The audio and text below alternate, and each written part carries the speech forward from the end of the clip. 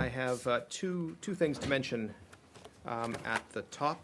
Um, The first is with regard to Nepal. The U.S. Pacific Command has activated Joint Task Force 505 to support the government of- of Nepal and the overall U.S. government and international response to the April 25th earthquake. The Joint Task Force consists of approximately 500 personnel, and its headquarters will coordinate U.S. military relief efforts, working in support of the USAID Disaster Assistance Response Team, which is coordinating the overall U.S. government response, as well as with senior representatives from the U.S. State Department and other U.S. agencies. And with the monsoon season fast uh, approaching in June, USAID uh, is focused on addressing the critical needs of shelter and medical care. They are airlifting 2,190 additional rolls of plastic sheeting to Nepal to be transported to critical districts identified by the government. This is in addition to the emergency medical supplies USAID is also in the process of airlifting that will help 40,000 people for three months. Both commodities are scheduled to arrive this weekend. And uh, lastly, before we get started, Secretary Kerry uh, was in Riyadh today, where he met with Saudi King Salman, Yemeni President Hadi, Saudi Foreign Minister Al Jubair, and other senior Saudi leaders. Um, as you may have seen, Secretary Kerry and Foreign Minister Al Jubair announced that the Saudis agreed to a five day ceasefire and humanitarian pause to cover all of Yemen to start at a date to be decided very soon. They will discuss more details of how the ceasefire will work in Paris tomorrow, a- and of course, uh, this is all dependent on the Houthis agreeing to it as well. Secretary Kerry's on his way to Paris um, as we speak. So, with that, over to you, Matt. Um, and we'll get back to Yemen in a second, but I just want to start with something that just happened, which is that uh, a judge in Canada has just ordered the release on bail of Omar Khadr. Um, I've been asking about this case for the last several days, attempting to find out if this government, which one presumes would have an interest, whatever that interest might be, but an interest in it, in the case, uh, if you have any position on it. And you and your colleagues have not, uh, have responded by saying, by referring me to the Canadian government for any comment on it. Now that he has been released, this is a guy who has been convicted of killing a U.S. soldier. What, uh, if anything, um, do you have to say about it?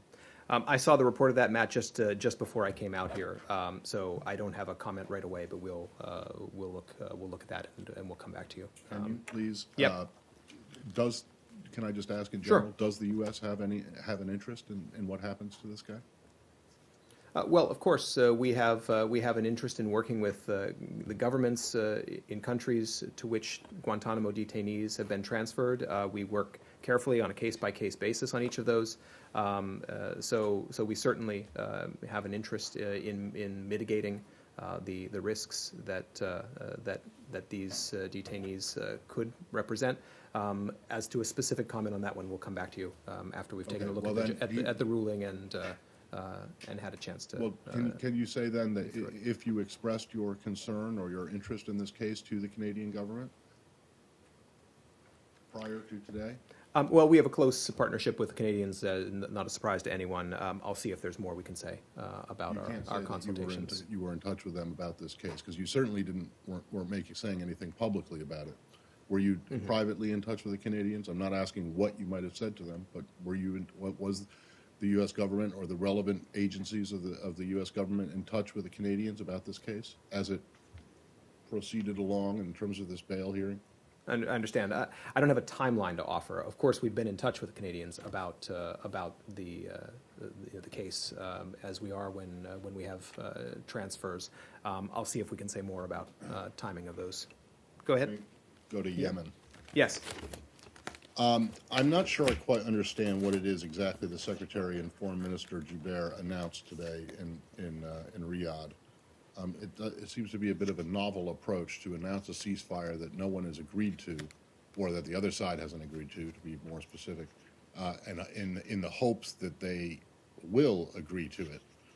Um, is there any indication at all that the other side to this conflict is prepared to take the Saudis up on this offer? And if not, why come out and claim to have accomplished something that has not been accomplished?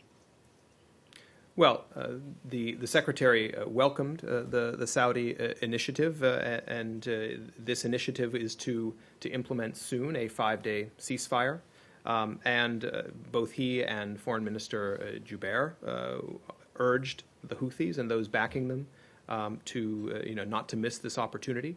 Um, This, uh, as, as they've, as they've said today, and as we've said all along, uh, the source of the current instability in Yemen is the aggressive unilateral actions uh, of the Houthis, uh, the support of former President Saleh, um, and, uh, and so that is the, the, the reason uh, for the situation uh, that exists in Yemen.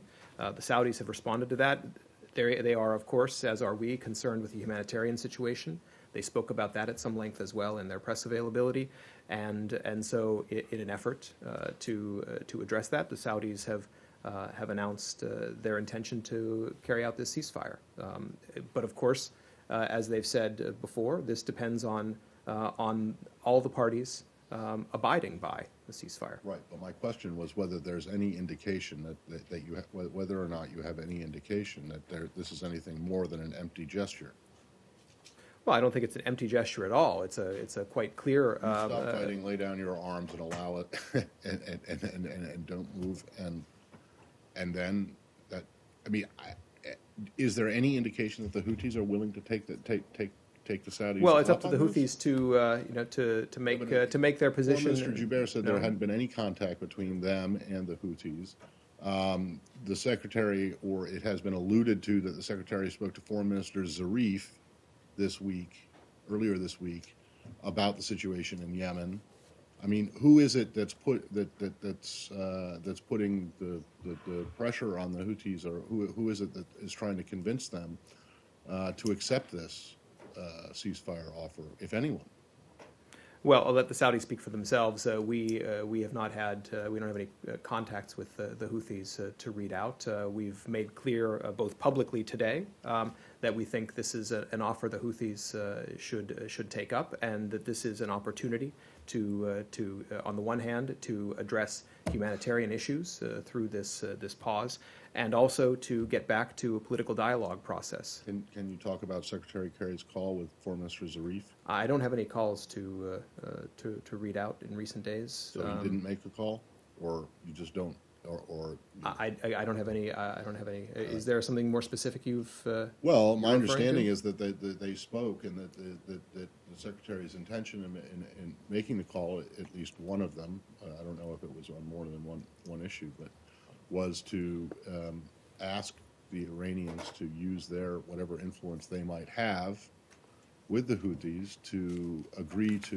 whatever the Saudis might propose in the way of a, in the way of a ceasefire. Maybe, maybe that is incorrect, but, um, I, I might be wrong, but you can't tell me that I'm wrong. I I don't have any calls this week to, to read out. Um, uh, again, our, our, our point of view on, on Iran uh, is, uh, is, in their role, is that those who back the Houthis um, should use all their influence to get the Houthis to I'll agree stop after to the this. You don't have- ceasefire. You don't have any calls, or the secretary did not call a single person this week? No, you were asking about Foreign Minister Zarif. Uh, that was, that was You don't have uh, the calls point. with him? Yeah, go ahead, uh, Saeed. Excuse me? Was this ceasefire in a way coaxed by the Secretary of State? Because it seems that the idea of a ceasefire or a temporary ceasefire was, you know, floating around, but it took effect today. Would you say that the Secretary sort of pushed for this? Well, uh, the Saudis have been talking about uh, their their readiness to consider a, uh, a humanitarian pause uh, for several days. We've we've welcomed uh, those indications of interest, uh, and so naturally, the situation in Yemen was a topic of discussion today. Um, but I, I think it would be a mistake to suggest, uh, you know, that uh, you know to characterize it the, the way you Would did. be- This is something we both have an interest in. Would it be a mistake not to assume that the- the presence of the Secretary of State of the United States of America actually placed some pressure on them to agree to that ceasefire? Again, I don't, thi- I don't think we're talking about pressure. I think this is uh, an issue in which the Saudis and the United States both have, uh, have a very keen interest. Okay, what is the likelihood that this temporary ceasefire may actually take hold and go on for longer? Was it something that you like to see? Well, we certainly, you know, the, the, uh, the uh, what was announced uh, was a five-day uh, ceasefire that would be then um, renewable. Um, so, uh, you know, that's, uh, you know, certainly it needs to start, and again, that depends on, on the Houthis uh, to, uh, to uh, abide as well uh, by a ceasefire In, in, throughout meeting- all of, throughout all of Yemen. Yeah. In his meetings with uh, President uh, Hadi, was this ceasefire talked about uh, in a way that this is it. I mean, we have five days, we'll do all we can from a humanitarian point of view, and then fighting will resume, or was it a prelude for perhaps some sort of political talks between the two sides? And was Hadi ready to say, okay, we will, we want to assume the talk, we want to resume the talks? Uh, Well, um, so, you know, President Hadi, as you know, is, uh, is going to be uh, convening a dialogue conference uh, in Riyadh on May 17th. This is, um, you know, to support the political transition in Yemen. This is uh, a conference that's uh, referred to in the UN Security Council Resolution um, 2216. And uh, so we support, uh, you know, as the Secretary said today, we support the conference and we support it in the context of a, um, uh, uh, the efforts to get Yemeni parties to engage in peaceful dialogue um, uh, in, in the UN, um, the UN-led negotiations. Now, uh, yes, the Secretary um, did, did talk to President Hadi today, and you know, they, they, they covered um, again, our, uh, uh, our interest in, on the one hand, addressing the humanitarian situation, also uh, our support for Saudi Arabia and for the legitimate government in Yemen, um, and uh, the need for all parties uh, to get back to the political dialogue process. Um, yes, go ahead. S- Same topic, Yeah, yeah, yeah. please. Uh, Do you wish that this ceasefire, if it takes place, to develop into a negotiation, political negotiation, and if so, do you support Iranian participation in such negotiation? Well, there's there's a framework for for talks uh, and political dialogue uh, in Yemen, and that's a UN-led process. It's consistent with uh, the the GCC uh, initiative and the uh, and the um, the national uh, dialogue in Yemen. So that's the framework. Uh, again, there's going to be a conference uh, soon in Riyadh, which uh, Saudi Arabia supports, which we support, which President Hadi is convening. Um, and uh, we see that as part of the larger uh, process to have uh, political dialogue that leads to a resolution of, the, of the situation in Yemen. We've, as we've said over and over again, this depends on the Houthis engaging. That's something they haven't been doing up to now. Yeah, but you know that the Iranian play a major role in terms of trying to push the Houthi to negotiation, and they express their willingness to to participate in the negotiation. So my question is, do you support? I know that the GCC hmm. don't like to hear about that.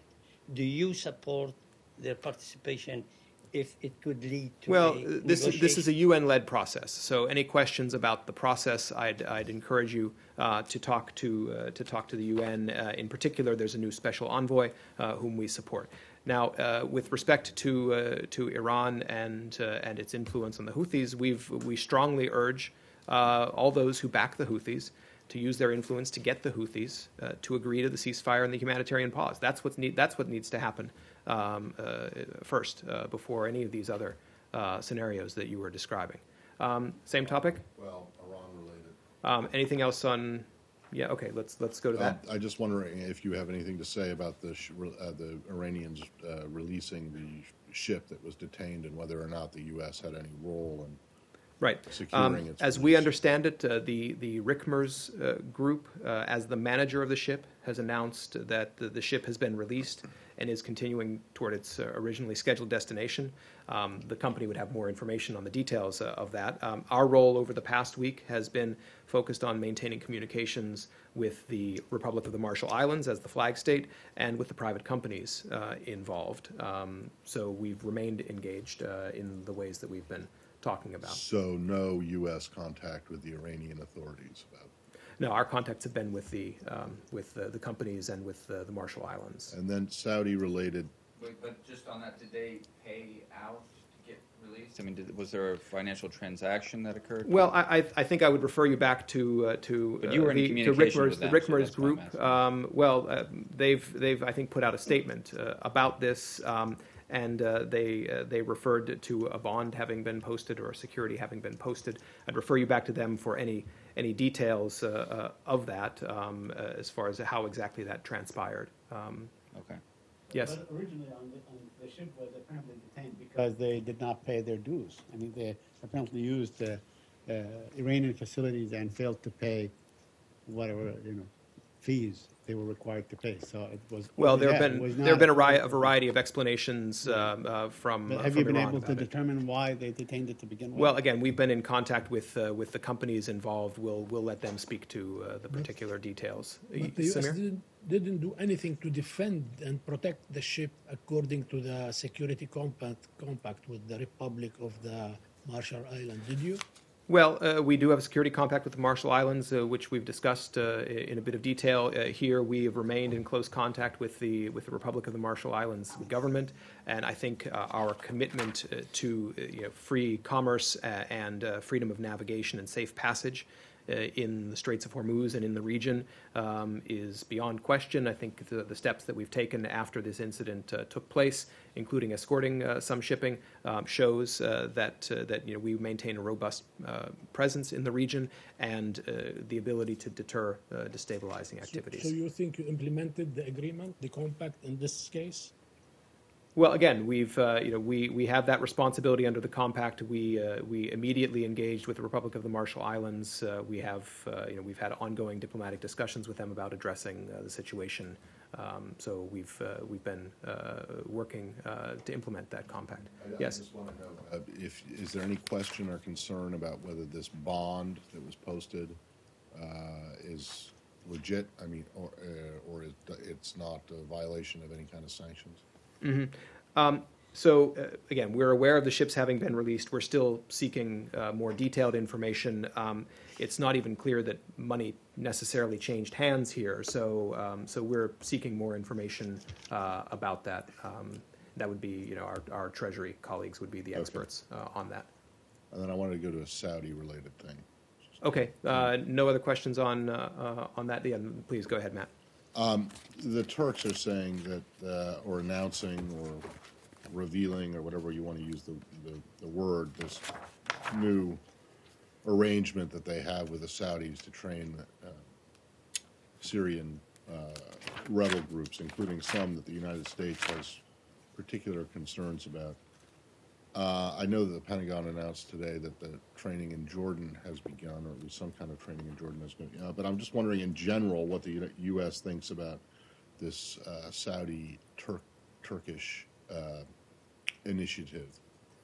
Not clear to me there's a new initiative uh, there, um, but uh, you know, we'll, we'll let them, them speak for the details. We've been clear that you know, Assad must go, and we continue to appreciate our cooperation with, uh, with our partners uh, in the region, including through hosting uh, the Train and Equip program and, and working to advance uh, the conditions in which a you know, negotiated political solution um, uh, which would stop the violence and address all dimensions of the conflict uh, would become possible. But uh, I don't have uh, I don't have a, a specific comment on that uh, report. Could I just follow up on the Yeah. Syria uh, issue? Uh, yes, yesterday, I think Secretary of Defense uh, Carter uh, said that they are, and, and the, the chairman of the Joint Chiefs of Staff also, they talked about safety zone. Is that something that is being uh, discussed again, that the United States is considering establishing a safety zone that is consistent with Turkey's demands? Uh, again, I don't have any uh, any any new uh, any new position uh, on that to to, uh, to outline. Our position on that remains, um, you know, as the same. That is, to have that kind of uh, military enforced zone would be uh, would have lots of complications and implications. Uh, we have remained in dialogue with our partners uh, to hear their views, uh, but uh, I don't have any new uh, any new position. And yesterday, you talked about uh, Ambassador Rubinstein meeting with Mr. de Mistura. Yeah. Did this meeting take place? Uh, no, that hasn't happened yet. It, uh, we expect it to happen uh, May 15th um, in, in Geneva. Okay, so that, that's a long ways out. Well, as, as we described, you know, the way these consultations are, are working, they are, first of all, um, organized and led by the UN Special Envoy, de Right. Mistura, and uh, he is consulting with the relevant parties. Um, so, you know, that is, and, and this, these are happening, um, you know, sequentially. They're not, these aren't negotiations where everyone is around a table. He's Right. consulting with the, with, with, with the relevant parties. So, you know, When we'll, say we'll, we'll talk to part- him uh, soon. Yes? Right. When you say the relevant parties, for instance, I mean, there are militant groups uh, in, in Syria that really have no political representatives and so on, who are they meeting with? I mean, you know, the, I'd refer the you back to the Qataris and I'd refer you back to the uh, so to on? the you know the special envoy and his uh, staff about the specific details of participation by uh, by Syrian um, parties. in- He said today that or he will not consultations. meet with pardon me. representatives or supporters of Jabhat al-Nusra or ISIS, uh, and obviously something that you do support him in this rejection, right? He will not meet with. Well, I think our, you know again, I'd refer you back to him, uh, but our views on uh, on Nusra uh, and ISIL um, should be crystal clear. Uh, um, uh, w- w- Samir, on the same topic. Syria, on Syria. Okay, and then we'll come to you, Ilhan. Yes. Do you have any update about the situation in the city of Qalamoun in Syria? It's on the northern border of Lebanon, where a big battle is uh, expected to take place between the Assad regime and its allies and the opposition. And if it happens, it's going to have a big uh, negative impact on Lebanon. Do you have any? Uh, Um, well, uh, I, I think uh, I, you know I don't have a battlefield analysis there, but what I what I can say is you know, that Hezbollah's uh, support for the Assad regime has prolonged the war inside Syria. It's brought extremism, including ISIL and Nusra, which we were just talking about, as well as direct security threats to the Lebanese to Lebanese territory, um, uh, because Hezbollah has joined Assad's fight against his own people. Um, you know, Hezbollah has dragged Lebanon into a war against the will of the Lebanese people. So we support Leban- Lebanon's, uh, the Lebanese government's policy of dissociation from the conflict in Syria. Um, Hezbollah has agreed to that policy in, in the Baabda Declaration, uh, but has violated it, and uh, you know that's to the detriment of, of the Lebanese people's uh, interests. So certainly we uh, uh, we are against that. Uh, Ilhan. Thank you.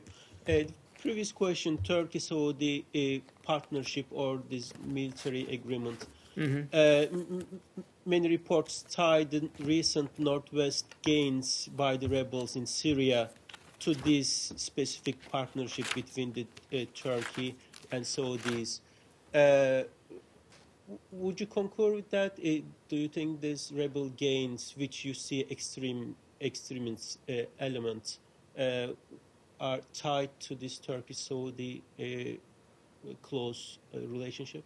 Well, again, uh, I, I, you know, I'd refer you back to the governments uh, for the specifics of uh, of their uh, of their uh, policies. Um, but uh, I'm going to decline to do a battlefield analysis uh, uh, and and to link it uh, to those to those things. Um, On train and equip program, uh, i- is this still this weekend in, in Turkey, Turkish uh, version? Is these plans are still same uh, this weekend starting? Well, as, as, as you know, Ilhan, the, the Train and Equip program is a, a program led by the Department of Defense. So um, I'll, I'll let them um, make, uh, make any, uh, any additional information uh, known about that. Um, uh, Final question. Yes. Uh, just today, uh, Turkey's main opposition party's vice chair stated that Turkey is Turkish troops uh, about to intervene in Syria, northern Syria.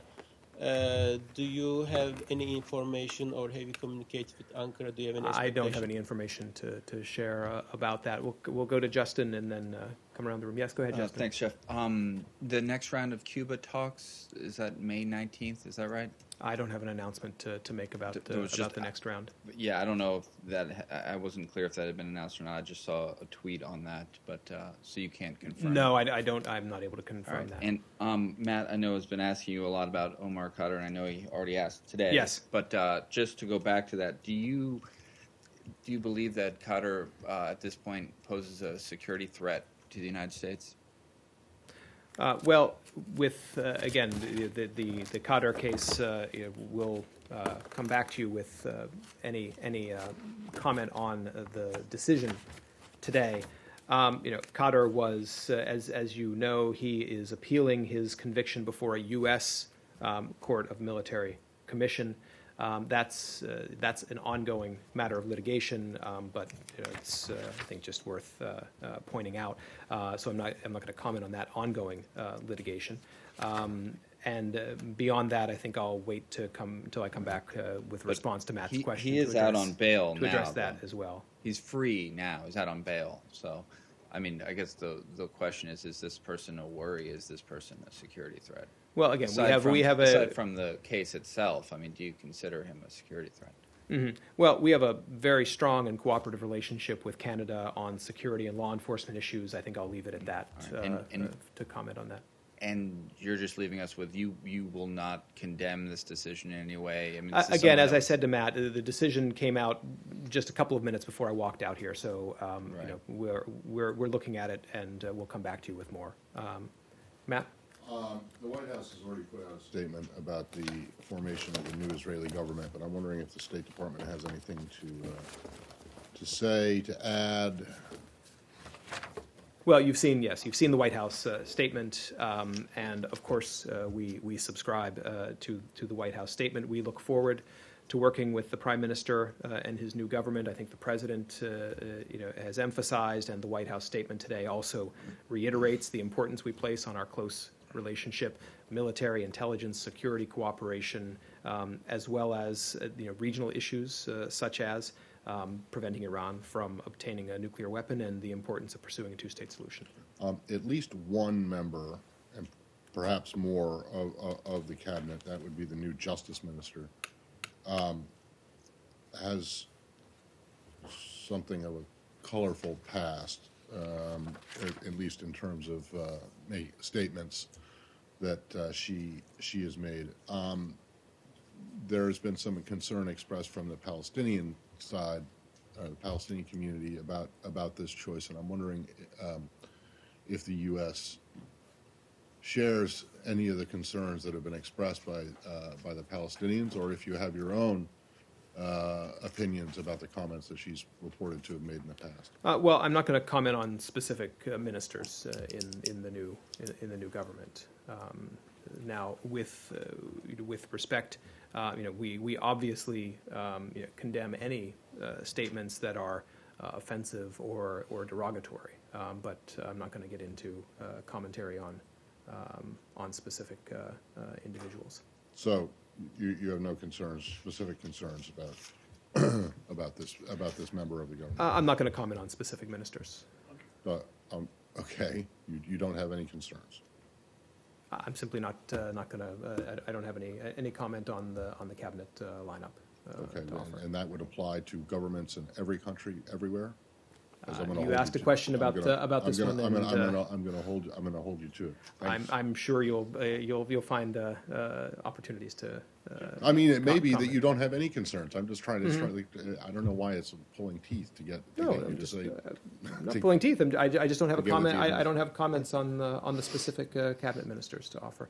Um, Let Saeed, Follow up on this point that Matt was raising. The minister is the Justice Minister, Ayelet Shaked, and last June, she basically called for the extermination of the Palestinian people. Are you not concerned that such a um, high-level portfolio, the Minister of Justice, who's called for the extermination of a people, you're not concerned that it is a member of a cabinet that you are saying you want to work with on issues like the two-state solution and perhaps arriving at a deal with Iran? Again, we look forward to working with Prime Minister Netanyahu um, and his new his new government. Uh, Matt asked a similar question. I said, you know, we obviously would condemn any statements that were offensive or derogatory, and and certainly any that would uh, that would incite. But she also has, uh, you know, I mean, the, Matt mentioned the cultural past, but she led actually a, you know, a settlement movement. I mean, for, for a very long time, uh, basically uh, initiating settlements, uh, doing all kinds of things, provoking the, the local population. I mean, she, she really quite, uh, quite effective or active within the settlement movement. That wouldn't bother you? Again, our views on on settlements, uh, I think, uh, are are pretty well known. Okay, well, s- w- uh, speaking of settlements, today the Israelis announced the building of 900 uh, new housing units in, in, in a settlement in the West Bank, in East Jerusalem. Which Do you have a comment? whi- which which are you referring to? I just want to make sure I. un- referring I- I'm- Ramat I'm- Shlomo. Ramat Okay. Shlomo, today, the, yeah. Right. Um, well, uh, we've consistently said that we oppose, uh, we strongly oppose steps by the Israeli authorities to advance construction in East Jerusalem. This is a disappointing uh, development. Uh, we're concerned about it, um, uh, just as a new Israeli government uh, has been has been announced. Uh, Israel's uh, leaders uh, have asserted that they remain committed to a two-state solution, and we need to see that commitment in the actions of Israeli uh, of the Israeli government. Moving forward with construction of housing units in East Jerusalem is is damaging and inconsistent with uh, with that commitment. Uh, we continue to engage with the highest levels of the Israeli uh, government, and we continue to make our position clear uh, that we that we view uh, the, this as illegitimate. Uh, One final question on the formation of the Israeli government. Prime Minister Netanyahu is keeping the foreign ministry portfolio to himself, perhaps hoping that he could, you know, uh, entice the Herzog into joining his government later on. But for the time being, is this something that you have no issues and no problem with if he keeps the, the foreign ministry portfolio? Uh, you know, it's up to Prime Minister Netanyahu to form his cabinet. Uh, we'll uh, we'll let him, uh, hit, So let him are do you that. satisfied? Um, Sorry, I just Yeah. wanted to go back to what you just said. You said that you- you're disappointed in this decision on, um, and the Israeli government has continued to say that it wants a two-state solution. You say that this is, runs counter to that. And then you said something like, we need to see that in, what did, what was we need to see that commitment. Uh, I said in the actions that the Israeli government takes. We, you- that- that that commitment to, to- to, to a two-state solution. And, and, and if you don't? Well, we remain in uh, in contact with at the highest levels with Israeli government uh, officials, uh, including on on these uh, these matters. Uh, I don't have. Well, uh, then what is the point of saying we need to see that commitment if, if, if, if it becomes the case that you don't ever see that, or you don't see the commitment and you don't do anything about it, what good is saying that we need to see that commitment? Well, this is a long-standing uh, U.S. Uh, policy. Uh, we're uh, we're reiterating that policy in in relation uh, to to this, this specific uh, development that Saeed that Saeed asked about. This is you know, this is uh, this is our Okay, view. Well, so if, if you're disappointed in this decision, you're saying, you're, you're in fact saying, I think, correct me if I'm wrong, that, that this new Israeli government is not really off to a very good start, at least as it, in, in- at least in terms of the, what the, what the U.S. administration thinks about it. Is that correct? Well, uh, look, our policy on this, on this is longstanding. Um, I'm In- not. In your, uh, in your response to the yes. question, you mentioned that it happened, that, that this is, comes as. whether new this Israeli decision, whether government this is announced. decision was, uh, you know, uh, in train, and uh, because I think Saeed had asked about this uh, Okay, this so same you're issue not- earlier in the week. Okay, because it was So my I wouldn't understanding characterize this as the first this action of, of the predates new Israeli government. formation of the Yes. government. Right? I, I- I believe so, yes, because again, Saeed asked about But this in the earlier in the week before. Right, Uh, but in the answer that you gave, you, I think that you said that it, you mentioned the fact that the new government had taken, taken over, so. no, I said that this is this this is a disappointing development, just as a new Israeli government has been has been announced. Um, but Right, but this is not a decision I believe the decision was made, but I, I believe or- that that's correct. That's right. Um, uh, yeah, and yeah, I- Iraq, and then we'll yes. Uh, yesterday, at an event at the Atlantic uh, Council, the KRG president, uh, Masoud Barzani, I mean, I asked him a pointed question about the independent I'm sure you did. Kurdistan, and, and he said that for sure it's coming. So you you guys uh, are fine with that. So we are likely to see an independent Kurdistan, and you are likely to support it. You've made several leaps uh, there from the question uh, to our policy. There's been no change in uh, in U.S. policy, uh, as I think we've uh, talked about uh, in advance of uh, of the visit. Um, uh, we believe that a united uh, Iraq is a stronger Iraq. We continue to support an Iraq that is federal, democratic, pluralistic, and unified as envisioned by the Iraqi constitution. So there's been no change in the in the U.S. Uh, U.S. view, and I think uh, also uh, President Barzani um, uh, t- spoke to this as well. You know, Iraq's territorial integrity is under threat from ISIL.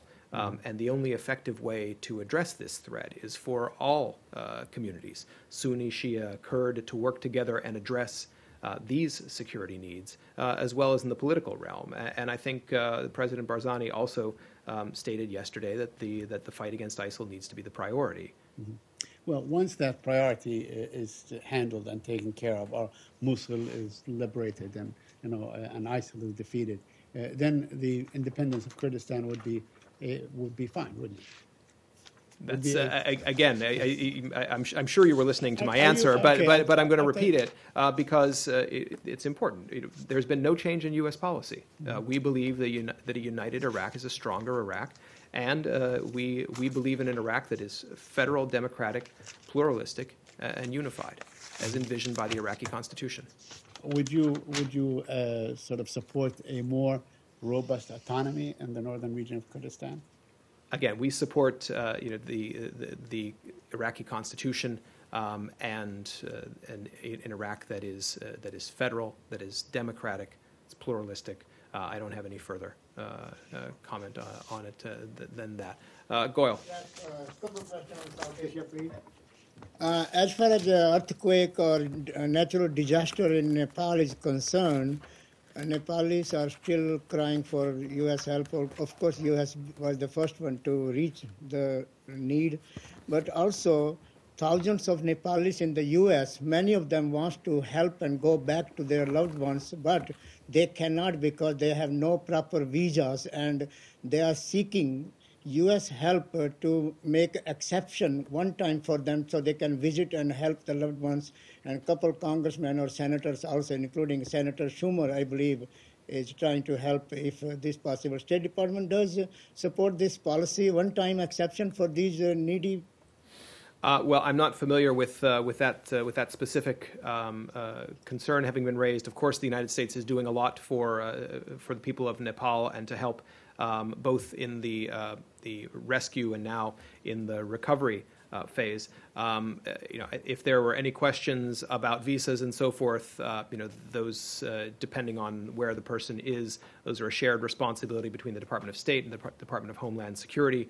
Um, but I don't have I don't have any specific any any new um, uh, programs or announcements to make uh, about that. uh, one on India. Uh, uh, Mr. Arun Kumar, Arun Singh, is back now, who was the DCM, Deputy Chief of Mission at the US, Indian Embassy in Washington, as the full-fledged ambassador of India to the U.S.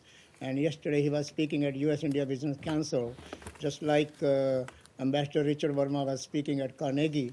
Um, uh, Ambassador Arun Singh said that uh, uh, because he played a big role in U.S.-India relations as DCM in Washington, and uh, including civil nuclear agreement and other many uh, economic issues and all that. Yesterday he spoke with this 514 companies, and he said his mission will be here to foster further the U.S.-India relations as President Obama and uh, Prime Minister Modi both uh, initiated so many issues. My question is, how you think this new ambassador of U.S. in India and new ambassador of India in the U.S. will play these relations between the two countries?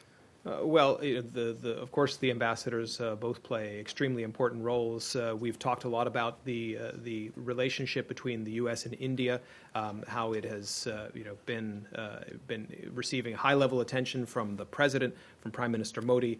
We certainly see the, those relations as improving, and we want to keep keep that trajectory going. And so, of course, the ambassador is going to play key roles in doing that across the broad spectrum of our uh, of our relations. Um, uh, finally, one more yeah? quickly, Yeah. please. Thank you. Um, so much going on in, uh, in around South Asia, like uh, China Pakistan relations, and now India and China relations. Um, Prime Minister Modi is going to visit China for the uh, three days next week. Uh, and uh, you, do you uh, have any concern because uh, of the U.S. Uh, Pakistan and U.S. India, and now those China is trying to get the business from these countries, and they are getting closer and closer. Uh, we support good relations between China and India, so I don't have any any comment on uh, on that travel. Go ahead, Taureen. Thank you, sir. Uh, yes, I have one on China. Yes. So yesterday, the State Department called for the release of human rights lawyer uh, Pu Zhiqiang, and the Chinese Foreign Minister, Foreign Ministry responded basically saying that the U.S. should stop being the world police and it's really none of your business. Um, on what basis does the State Department feel like can call for the release of this lawyer in China? Uh, well, uh, you know, I think we've talked uh, talked about uh, you know the fact that uh, you know human rights, uh, international human rights, uh, are uh, not not bounded by uh, by borders, um, and we uh, we of course make uh, the promotion of human rights uh, one of our priorities in our foreign policy. And so we uh, we speak out about uh, human rights, uh, and that's part of who we are as Americans. It's part of our foreign policy, and it's it's something we do around the world. And the ministry also said that the U.S. should focus more on its own issues. I guess making a, reference, a bleak reference to Baltimore. Uh, how would you respond to that criticism? Well, I think it's clear if you look at the U.S. government's uh, response to the situation in Baltimore from the very top, from the president uh, to the attorney general uh, and on down, uh, also at the, the state and local level. Um, you know, we uh, we have uh, focused on that situation, and, and and both at the federal, again at the state and local level, are uh, you know, they're taking uh, steps to address uh, those concerns. So I, I think that uh, it's a situation where the United States recognizes uh, when when there's when there's a situation that that requires attention, and we take all steps to do it. So I, I don't think I think we're as we've said before, we are happy to put our record in in dealing with with difficult domestic issues up against any other country in in the world. Yes, Matt. You would, you would reject the foreign ministry's allegation that weighing in and calling for this guy's uh, this guy to be released is an is interference or meddling in the Oh, absolutely. Chinese judicial system. Certainly, we would. Yes, we would. Okay, so you want him? You still think that it would be a good idea for him released? You I, actually- we stand by the statement uh, that we've. Uh, So you, ha- you have a, you have a position on this guy's in prison, continued in prison, and yet you don't have a position, or you're unable or unwilling to say whether you have a position about a guy in Canada who has just been released on bail, who's been convicted of killing an American soldier and served a, a, a lot of time in Guantanamo Bay.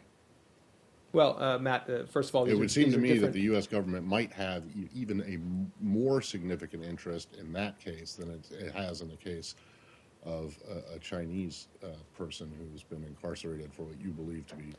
Matt, and I'm a- not saying you should call for his release, Mm-hmm. but I would think that you would have some kind of position that you could enunciate publicly.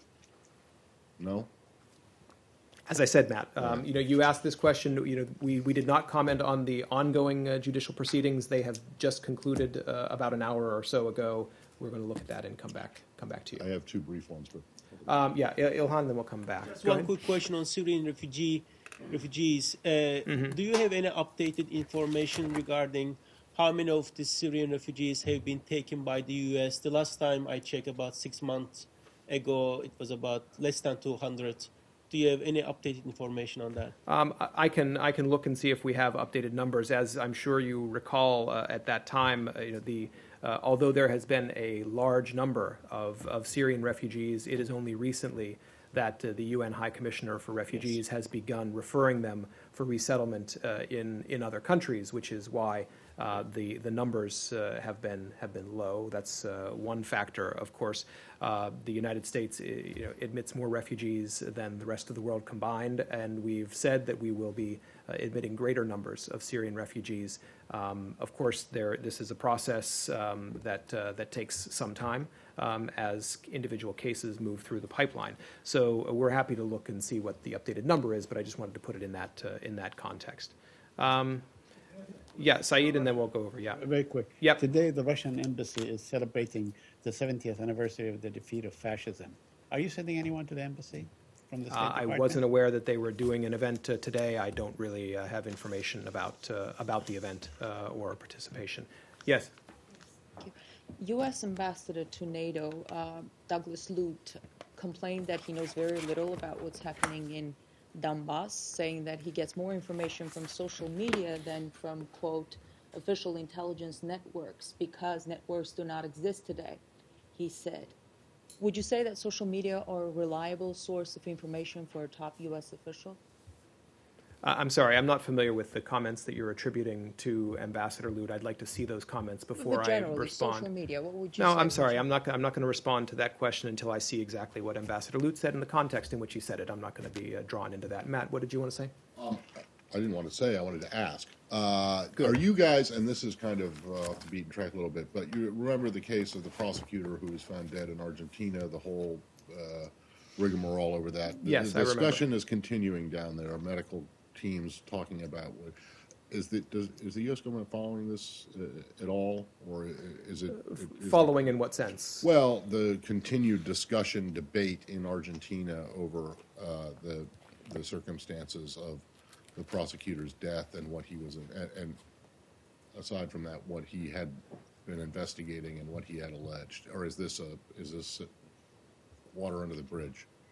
Uh. Well, uh, again, I, I don't have an update on the particular, um, you know, uh, situation. Again, we've, we've followed the case, um, but I, I don't have a, a comment on the, on the latest developments. I haven't seen uh, recent developments in the last few days about that. And, and the last one goes back to um, the the questions about the the donations to the Clinton Foundation and whether or not the State Department is going back, at least, uh, has, has, whether or not the questions that have been raised in the numerous reports that have come out over the past, course of the past couple of weeks, whether or not the State Department has the same questions, whether or not the- the department is looking into them, in particular, uh, about the donations that were talked about in the Boston Globe story to the Health, Health Foundation that were not disclosed as they should have been under the MOU. Is this an issue uh, for the State Department? Okay, you, you and uh, Arshad both asked about that earlier in the week, and, and I have a little bit more uh, to say about that. I, I would start by saying um, I think it's important as a baseline to, uh, to recall that the same rules that apply um, in terms of ethics uh, apply to every employee in the executive branch, um, and they also apply to secretaries of state.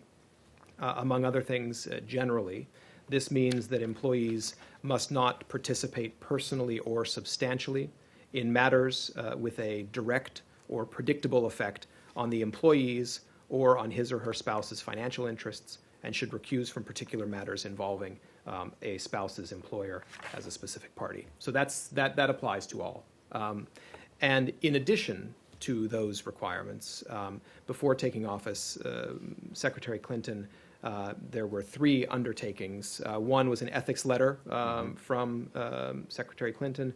The second was a memorandum of understanding, um, which dealt with the Clinton Foundation. And then third was an ethics letter from former President Clinton. Now, these, these were all steps that were taken voluntarily in the interest of transparency and went beyond the existing um, uh, ethics uh, requirements.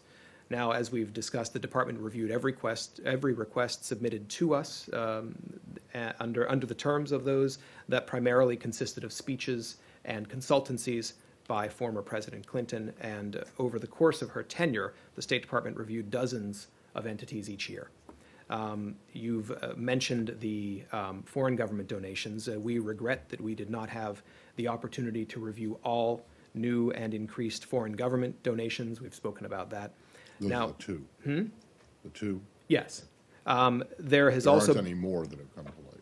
no, not, not that I'm aware of. Um, there's been discussion about private uh, donations, um, and uh, that I think was what brought us to the question you, you raised earlier in the week. Um, the idea that the foundation and its affiliates would publish all of their private donors, um, which was one of the two terms of the MOU, was intended to provide additional public transparency. Um, but I would note um, that, that even if all of the private donations um, had been publicized, um, there was no expectation under the MOU that the State Department would be, would be reviewing uh, those. You know, we, we agreed in the MOU, or committed in the MOU, to review the new or materially increased foreign government uh, donations. So there's a distinction um, there. Going, going back to the private donations, uh, the Clinton Foundation appears to have uh, published online uh, now all the donations from this period, and uh, I believe they've announced plans to do so each quarter.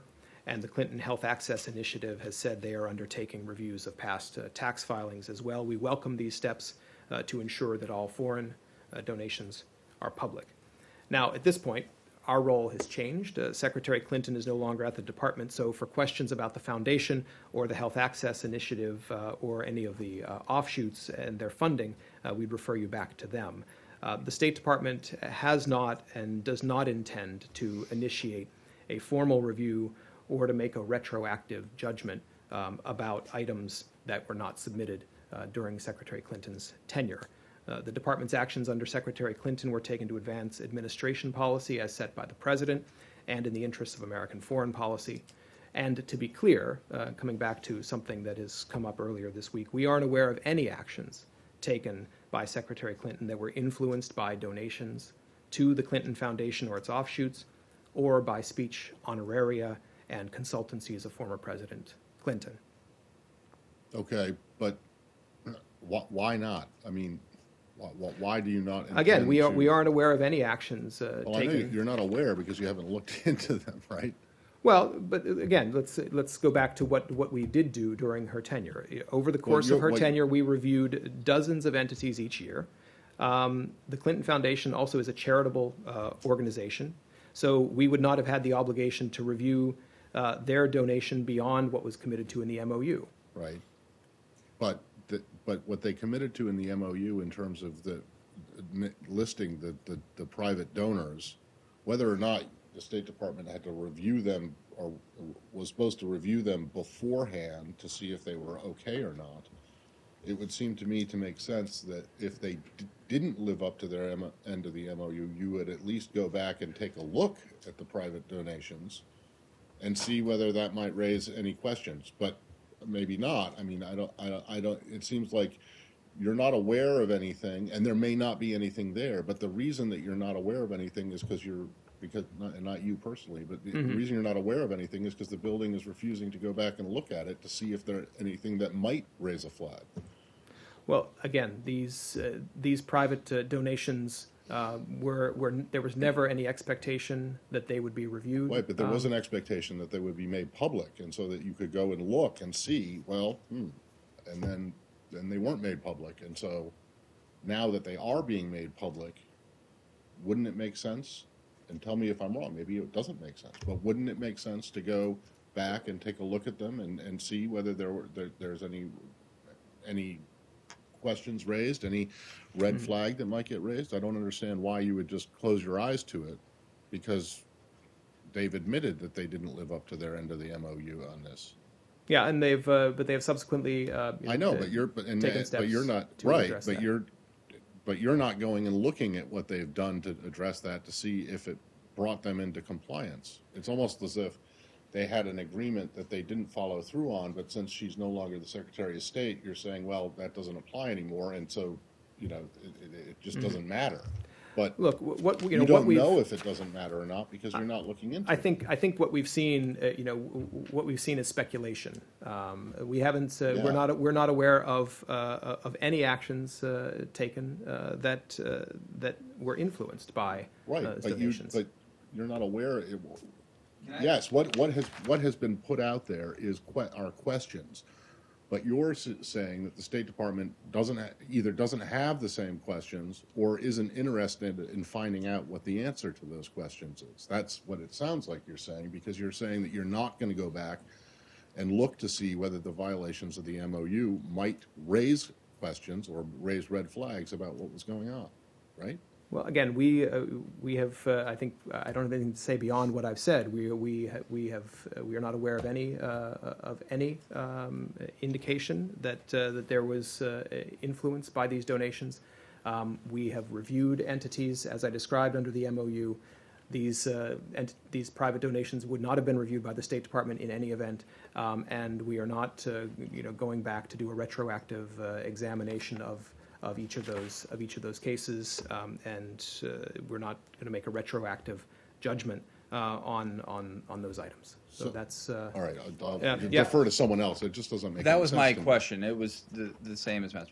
You, you've said this multiple times now. You're not going to make a retroactive judgment. Why not? What, what is the reasoning beside, uh, that follows up on that decision? Because that decision um, is important and makes it look like, as Matt is pointing out, that you don't want to find something that would look bad on No, uh, the secretary that's- who's running for president. No, uh, no. Again, the these private donations, which were the, the reason these uh, these questions uh, arose in this in this briefing room, um, were not um to be reviewed by the State Department under the terms uh, of the MOU. Um, But that was and if the MOU was adhered to, and it, and it wasn't. And again, I don't think, no one's saying that there is, that there isn't, certainly that there's something wrong, but there, there are questions out there that have been raised, and not just raised by opponents of, political opponents, but by, but by many others as well. And if the State Department isn't interested in finding out the answer, uh, I mean, it, is there a reason why the State Department is not interested in finding out whether there was uh, even uh, a, a, a question of or an appearance of any kind of impropriety? again, we're not, we're not aware of any. um, You're, you're not aware of any because you're not looking, you're not looking back. uh, You know, I thi- I think. I mean, I can understand why you would say, okay, if they didn't, if they had agreed, if they had complied with the MOU and published these donors every year as they said they were going to do, I, I can understand why then Mm-hmm. that wouldn't be an issue. But the fact of the matter is they didn't publish those things. So you don't know, you would have had the opportunity to know, even if you weren't required or even if you weren't going to review them. But you would have had the opportunity to look and see the list and see, and, and, and see if there were any issues there. And you didn't have that opportunity, just like the public didn't have that opportunity. And now we're in a position where you are going to have the opportunity to do it because they're going to comply ex post facto facto with, the- with the MOU, but you're not going to take the opportunity to do it. And I guess that's just what, that, that's what is the, is- is puzzling to me. Uh, Well, I don't have much more to say uh, beyond, uh, beyond what I've said. Um, All right, thank you. Thank you.